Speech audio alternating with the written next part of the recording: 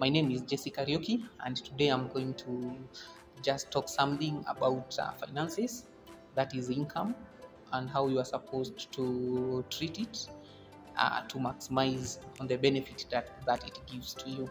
So, number one, set a budget, and by setting a budget, uh, you are able to effectively plan on your finances on what you are going to expense uh, what is going to this activity what is going to the other activity number two you should at least define your saving goals.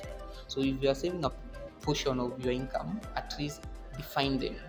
So by defining them is uh, setting a goal with a specific purpose. Uh, you can save a goal for a vacation you can save a goal for a school fees.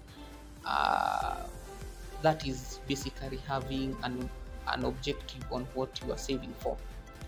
Um, number three twist. We know saving can be quite a hard hassle but you should save first for yourself.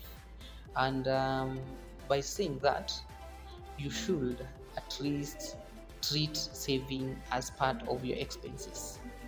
Uh, normally initially uh, all the old school thought uh, people used to save after expenditure but in the new trend um, you save before expensing.